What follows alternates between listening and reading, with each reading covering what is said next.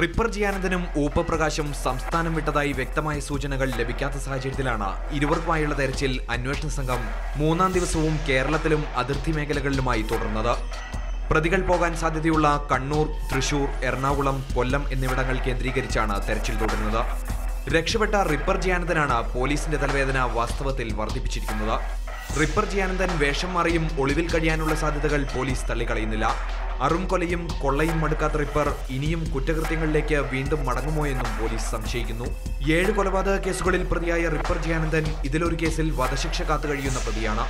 അതുകൊണ്ട് തന്നെ ripper സുഖജീവിതത്തിനല്ല jail ചാടിയതെന്ന് ഉറപ്പ്. ഈ സാഹചര്യത്തിൽ റിപ്പറിനായി സംസ്ഥാന പോലീസ് അതീവ ജാഗ്രതയാണ് പുലർത്തുന്നത്.